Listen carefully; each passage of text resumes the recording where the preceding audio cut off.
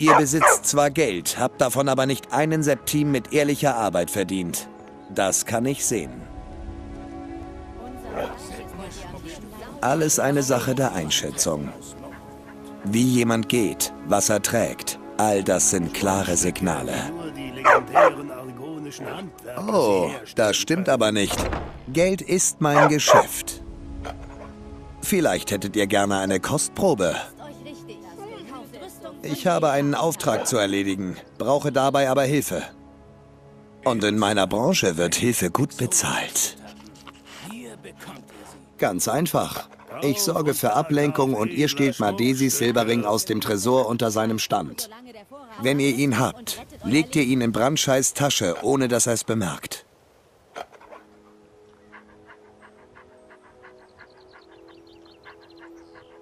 Es gibt jemanden, der ihn aus dem Geschäft drängen möchte. Mehr müsst ihr nicht wissen. Sagt mir, wenn ihr bereit seid und wir legen los.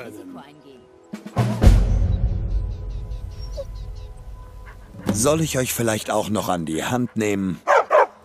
Ihr müsst zu Madesis Stand schleichen und mit eurem Dietrich den Tresor öffnen. Wenn ihr dann den Ring habt, führt ihr bei Brandschei einen etwas anderen Taschendiebstahl durch. Ihr lasst etwas zurück.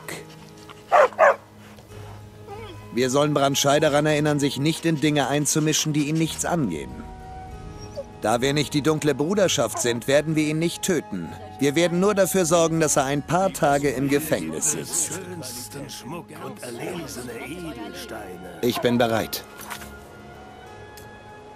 Sagt mir, wenn es losgehen soll. Wollt wohl sehen, wie Balimond wahre Wunder mit dem Stahl vollbringt, hm?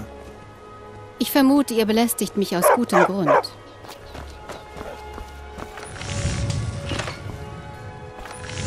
Also, Junge, wollt ihr euch ein paar Münzen verdienen?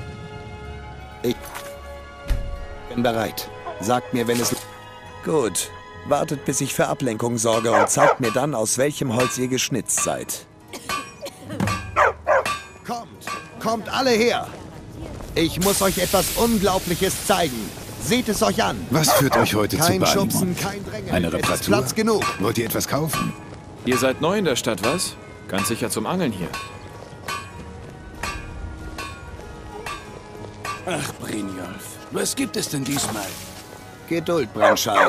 Das ist eine seltene Gelegenheit und ich möchte, dass ihr dabei seid.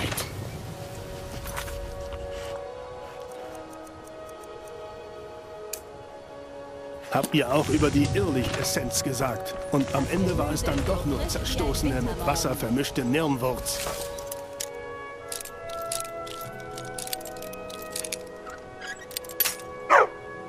Das war nur ein Missverständnis, aber dieser hier ist der echte Gegenstand.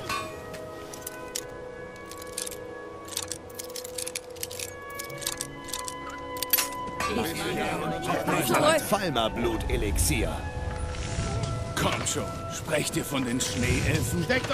Das Problem ist, dass ihr die Gesetze dieses Landes nicht respektiert. Jetzt ereilt euch die Strafe des. Verschwendung. Kluger Mann. Jetzt kommt...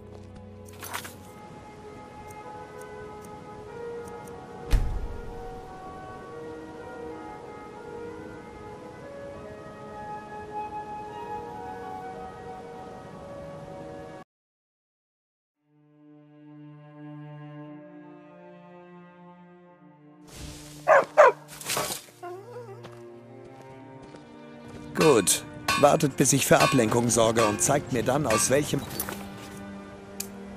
ihr geschnitzt seid. Ihr seid neu in der Stadt, was? Ganz Kommt sicher zum Angeln her. hier. Ich muss euch etwas Unglaubliches zeigen. Seht es euch an. Kommt alle her.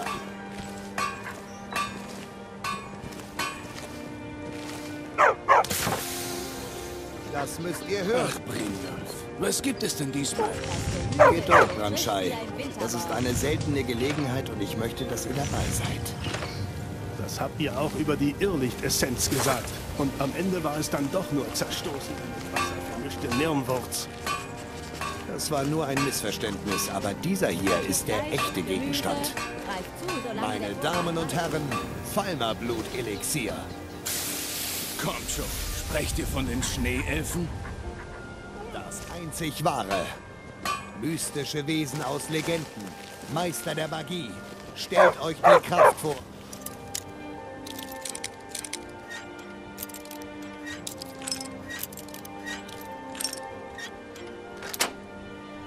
Die durch ihre Adern floss. Woher habt ihr das dann? Jahrelang sie niemand zu Gesicht euch. bekommen. Zurück! Zurück! Meine Quellen müssen zu ihrem Schutz geheim bleiben, aber ich kann versprechen, dass der Inhalt echt ist. Das Problem ist, dass ihr die Gesetze dieses Landes nicht respektiert. Jetzt ereilt euch die Strafe des Jahres. Kluger Mann!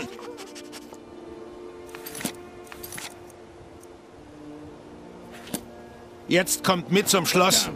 Wir nehmen euch etwaiges Diebesgut ab, dann könnt ihr wieder gehen. Sobald ihr die Strafe bezahlt habt, versteht sich.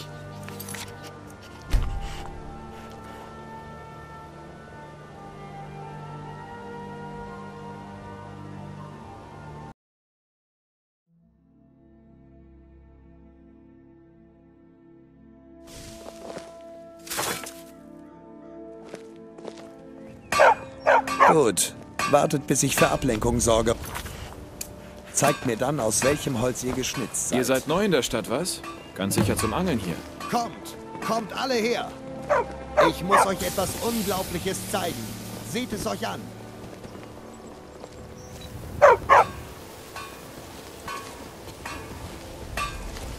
Kommt alle her!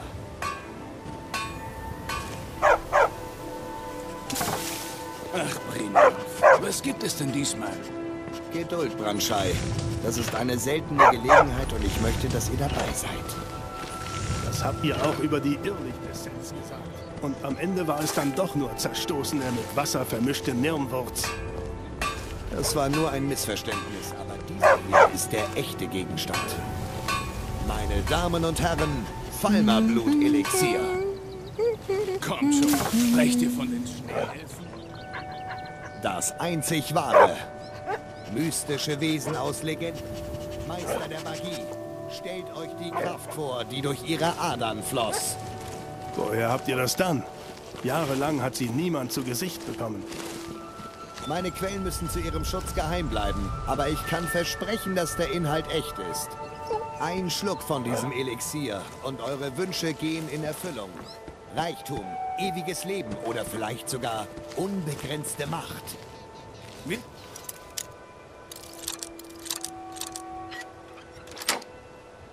Wie kostet es? Nur 20 Goldstücke. Beeilt euch, bevor alles weg ist. Er schadet dem Hof anderer Händler. Lebt tausende von Jahren. Was, wenn er recht hat? Vielleicht kaufe ich eins.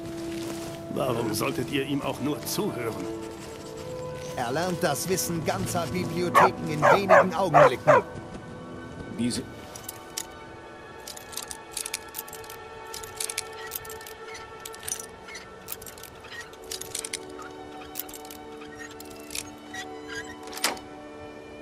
Lichtessenz.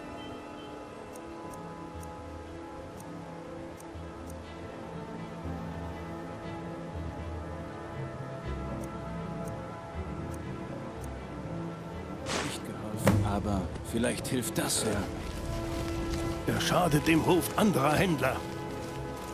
Nur 20 Septime pro Flasche. Ich kann mir keins leisten. Aber kann ich mir auch leisten, keins zu kaufen? Hört nicht auf ihn. Er denkt sich das alles aus. Lasst fehlende Körperteile nachwachsen. Diese Irrlichtessenz hat nicht geholfen, aber vielleicht hilft das ja. Hört nicht auf ihn. Er denkt sich das alles aus. Nur 20 Septime pro Flasche. Genau das brauche ich jetzt. Warum solltet ihr ihm auch nur zuhören? Lasst fehlende Körperteile nachwachsen. Genau das brauche ich jetzt.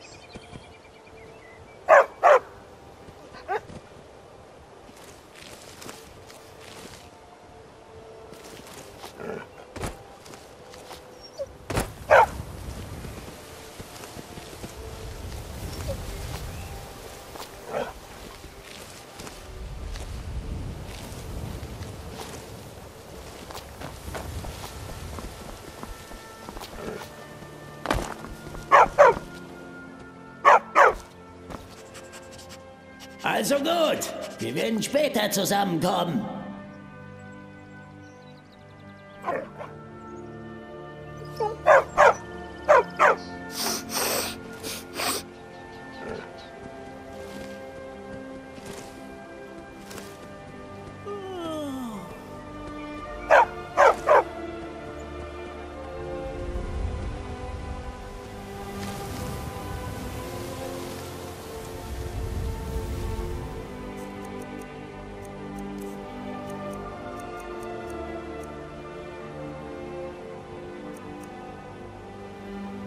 Elender Dieb! Dieser stolperte Kiffer, wirklich.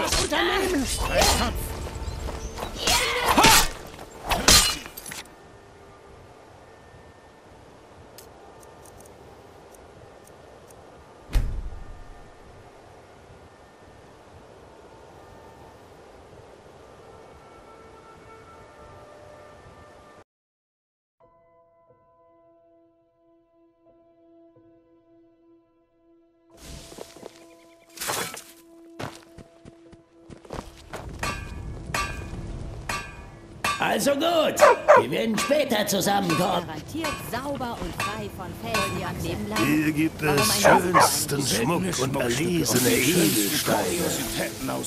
Bitte. Oh, vielen Dank. Mögen die Göttlichen euer gütiges Herz segnen. Lest die Gedanken Mhm.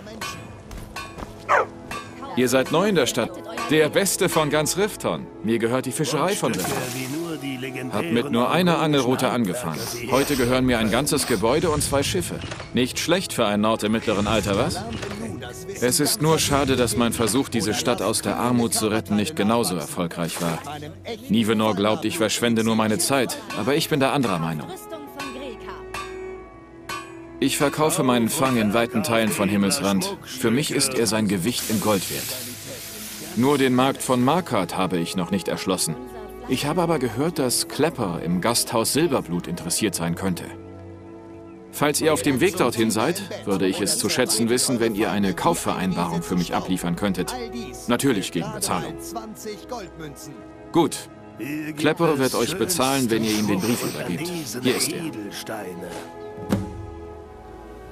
Ich schätze, irgendjemand muss es ja tun. Habt ihr gesehen, in welchem Zustand sich diese sogenannte Stadt befindet? Bettler durchstreifen die Straßen, das Verbrechen grassiert und der drohende Krieg vertreibt die Geschäftsleute. Die paar Münzen, die ich in die Spendenbüchse des Tempels werfe, sind das Mindeste, was ich tun kann, um zu helfen. Nivenor ist meine Frau. Wie mir jemals ein so wunderschönes Wesen begegnen konnte, ist eines der großen Mysterien des Lebens. Wir sind geteilter Meinung, was meine Wohltätigkeit angeht. Sie sagt, die Leute in dieser Stadt seien faul geworden und würden sich auf die Almosen verlassen. Ich versuche sie in meine Lektionen von Mara mal drüben im Tempel von Mara mit einzubeziehen. Aber sie geht lieber einkaufen. Jedem das seine, was? Vergesst nicht, im Zu Tempel Besuch zu spenden. Im Tempel von Mara sind Grüße, geschätzter willkommen. Kunde. Jawohl. Leider bin ich einer der letzten traditionellen Saxliel-Juweliere in Tamriel. Unser Handwerk gerät langsam in Vergessenheit. Das einzige Problem ist, dass ich schwer an Materialien komme. Die Straßen zu den Minen und den anderen Städten sind übersät mit Banditen und Schlimmerem. Wärt ihr interessiert daran, ein wenig Material für mich zu sammeln? Ich würde euch auch sehr gerne dafür entlohnen. Danke sehr, Landläufer. Ich suche ein paar Gegenstände für mein nächstes Werk. Zwei makellose Saphire, einen Mammutstoßzahn und einen Klumpen Golderz. Leider nicht so gut. Dieser Brinjolf, er zieht den Leuten mit seinen lächerlichen Wundermitteln das Geld aus der Tasche. Vor ein paar Monaten war es Trollfettsalbe und jetzt hat er was Neues im Angebot. Ah, Nicht, dass man dagegen irgendwie vorgehen könnte. Er hat gute Beziehungen zur Diebesgilde. Passt auf euch auf, Landläufer. Wollt ihr etwas kaufen oder seid ihr nur zum Trainieren gekommen? Ich werde euch zeigen, wie ihr euch wirksam schützen könnt und dabei dennoch schnell auf den Beinen bleibt.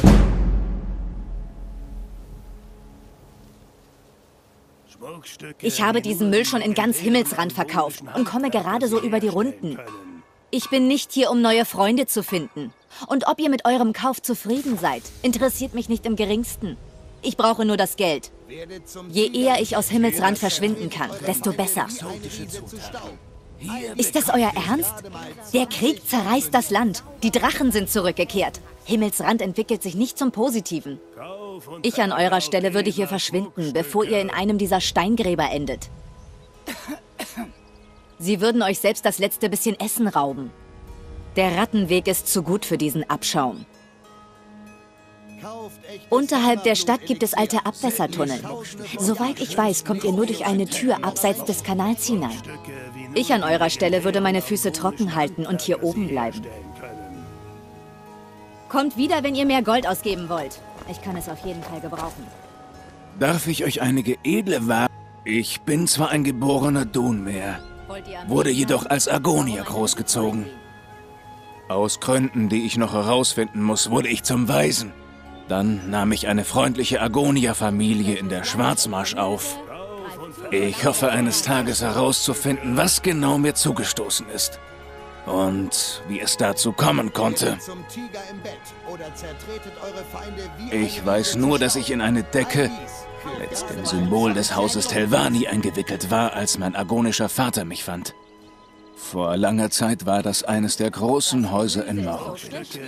Ob das nun heißt, dass ich einer von ihnen war, da bin ich mir nicht sicher.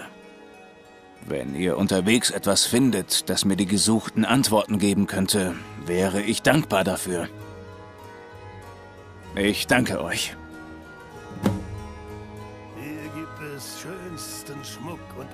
Ich habe erfahren, dass eine Hausmutter, die beim Haus Telvani angestellt war, während des Thronfolgekrieges aus Morrowind geflohen ist. Laut der Aufzeichnungen hat sie eine Überfahrt mit dem Schiff der Stolz von Telvos bezahlt. Aber da endet die Spur auch schon. Jahrelang versuchte ich herauszufinden, was aus dem Schiff geworden war, blieb am Ende aber erfolglos. Alles, was ihr finden könnt, wäre eine große Hilfe. Viel Glück. Kauf und Verkauf. Die Arbeit in der Fischerei von Rifton ist hart, aber sie bringt etwas Geld in meine Taschen. Beim Reich des Vergessens. Natürlich. In dieser Stadt geschieht nichts ohne meine Zustimmung. Der Jarl hat ein offenes Ohr für mich. Und die Wächter habe ich in der Tasche. Macht mir jemand Ärger, besuche ich die Diebesgilde. Macht mich jemand zornig, gehe ich zur dunklen Bruderschaft. Daran solltet ihr beim nächsten Mal denken, bevor ihr eine so dumme Bemerkung macht. Aus dem Weg.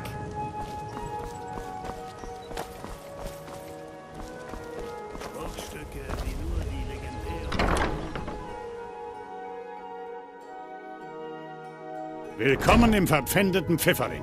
Kommt doch rein und seht euch um. Willkommen im verpfändeten Pfifferling. Was kann ich für euch... Einprägsam, nicht wahr? In meiner Jugend war ich Fischer. Ich hatte ein wunderschönes Boot, die kräftige Krabbe. Aber man wird ja leider nicht jünger. Ich habe den Kahn schließlich verkauft und den Fischladen hier eröffnet. War früher ein Pfandhaus. Der Name gefiel mir irgendwie, da habe ich ihn beibehalten. Und so das Gold für ein neues Schild gespart. Es wäre klüger gewesen, wenn ich das Boot behalten hätte. Es war ein großer Fehler, in diese Stadt zu ziehen. Die richtige Frage wäre, was stimmt denn mit Rifton? Die Stadt ist korrupt, durch und durch. Alle sind nur mit sich selbst beschäftigt. Und damit, möglichst viel Profit aus dem Leid anderer zu schlagen. Die Obrigkeit? Sagt mal, hört ihr mir eigentlich zu? Die sind doch alle korrupt. Alle. Ohne Ausnahme. In dieser Stadt kommt man nur weiter, wenn man nicht aufmuckt und die richtigen Leute schmiert. Die Kerle waren hier mal ziemlich gefürchtet. Ich meine, wenn man ihren Namen flüsterte, lief es einem kalt den Rücken runter. Jetzt sind sie nichts weiter als Halunken und Schläger, die es auf das Geld ehrenwerter Leute abgesehen haben. Man müsste bloß einen kleinen Trupp Wachmänner in den Rattenweg schicken, um sie da rauszuscheuchen. So nennen wir die alten Abwasserkanäle, die unter der Stadt verlaufen. Vor langer Zeit war das mal ein gewaltiges Kanalisationssystem. Aber heute ist es verfallen, genau wie der Rest von Rifton. Die Gilde hat dort jede Menge Schurken postiert, die nicht gut genug sind, um beizutreten. Passt auf euch auf, wenn ihr darunter steigt. Auf Wiedersehen.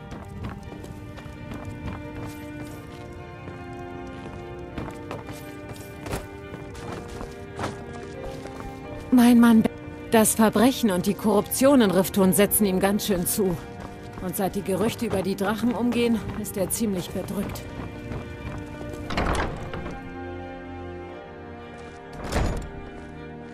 Habt ihr diese Kriege? Rifton steht unter meinem Schutz und ihr benehmt euch besser.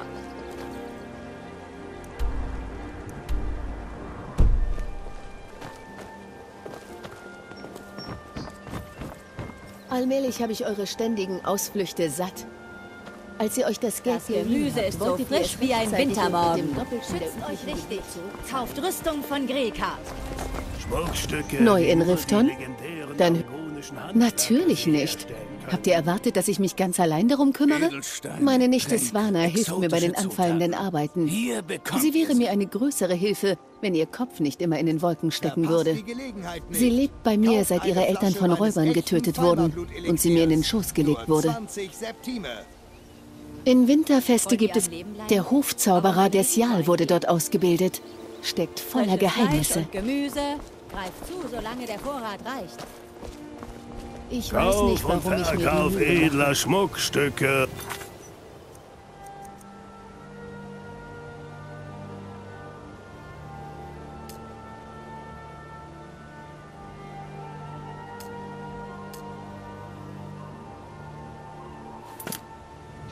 Seltene Schmuckstücke und die schönsten Kuriositäten aus Morrowind.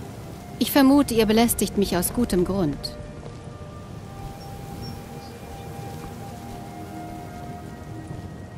Beim Reich des Vergessens, was wollt ihr?